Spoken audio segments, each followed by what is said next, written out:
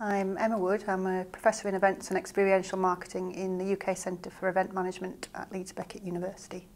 In my inaugural, I'll be discussing how marketers have used events to create buzz and how we can use that information to create emotionally rich experiences which lead to personal transformations such as improving well-being, increasing feelings of self-worth, self-confidence.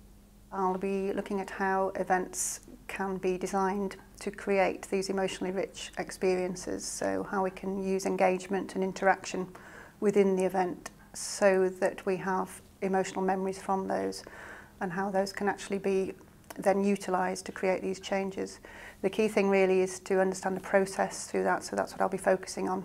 So why is it that sharing emotional memories creates these feelings of well-being or inclusion or self-worth within the people who attended?